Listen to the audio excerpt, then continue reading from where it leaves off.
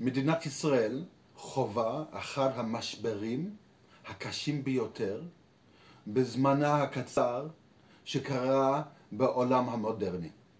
מדובר על קריסת מערכות שבשווה לקריסות שהתקיימו או לא התקיימו במשך מלחמות, במשך תקופות אסון לאנושות. והמצב נחוץ בשינוי דרמטי, בגלל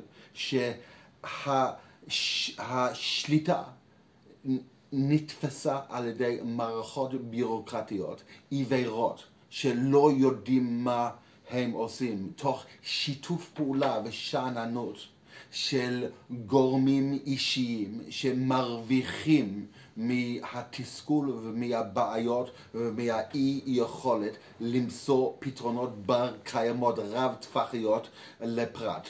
והדרך היחיד לפתור את הנושא הזה על ידי קביעת חוקה למען הפרט, לשביעות רצון הפרט, שמודדת תועלת עובדי ציבור לשבע רצון הפרט, כאשר עובדי ציבור מקבלים תגמול, משכורת, בזה שפועלים לפתור בעיות לשביעות רצון הפרט. מה שאין כן היום, כאשר הממסד והגורמים והביורוקרטיה ועורכי דין ויועץ משפט כולם נהנים ומקבלים שכר על ידי התנפחות המערכת. והמערכת מיותרת. לו היה חוקה שהיה מחייב פעילות וימדוד את הפעילות של עובדי ציבור לשרת את רצון הפרט. הדרך לקבוע חוקה היא כמעט ונחסם לחלוטין על ידי אלה הכנסת ויועץ משפט. כי יועץ משפט יש ניגוד אינטרס מוחלט לחוקה. כי היועץ משפט הוא מפרש את החוק, הוא מיישם את החוק, והוא נצרך לתת חוות דעת ופרשנות של החוק בהיעדר חוקה שמייתר את ההליך הזה ומחייב שהרצון הפרט הוא במרכז מלאכה של כל מעשה ופעולה של הממשל. רק חוקה יכול לעשות זאת, אבל אין פעולה בכנסת לקבוע חוקה. לא רק זה, אלא יועץ המשפט של הכנסת מסרב כניסתי לכנסת לחקור ולקדם את נושא החוקה למען הפרט.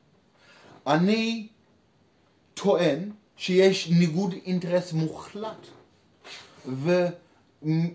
וממחשבה תחילה של יועץ משפט למנוע קביעת חוקה למען הפרט בגלל שזה מייתר לרוב את התועלת ואת העבודה ואת התפקוד ואת התפקיד של יועץ משפט. אני חושב ש...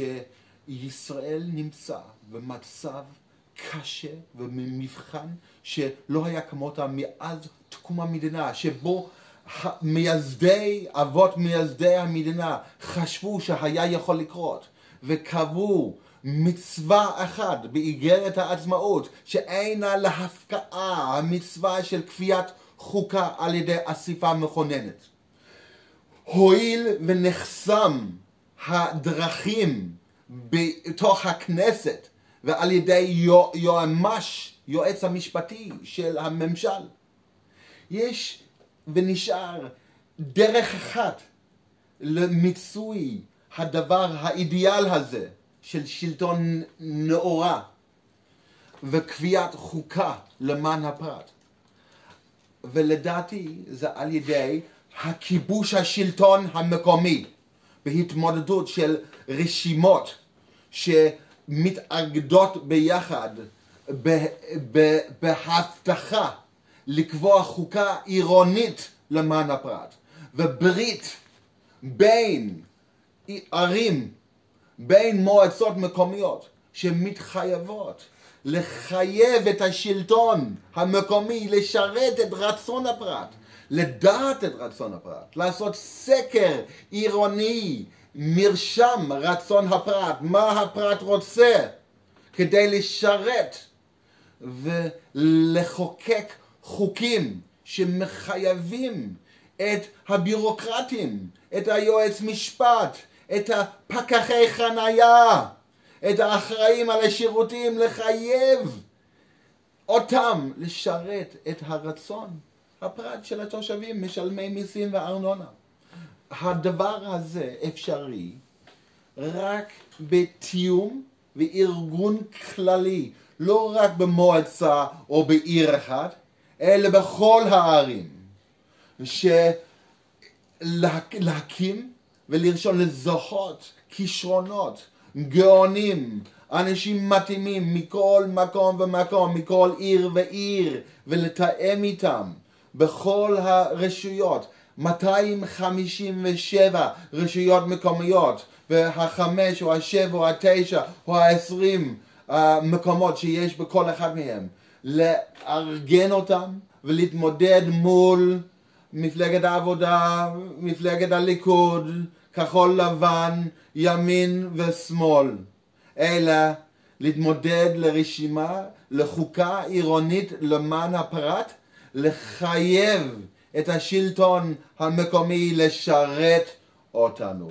וזה מה שאני מתכוון לעשות, ואני קורא לצופים להיות איתי בקשר כדי למנות ולזהות ולהמליץ ולקדם מועמדים מצוינים משכמם מעלה מכל המקומות, להקים ולהרכיב קבוצות שיתמודדו ויעלו לשלטון המקומי ויהוו חברים עתידים באספה מכוננת לקביעת חוקה שיקימו בית משפט חוקתי ושיהוו המייסדים, אב המייסדים של מכללה לפתרון בעיות מורכבות של הפרט לשביעות רצון הפרט.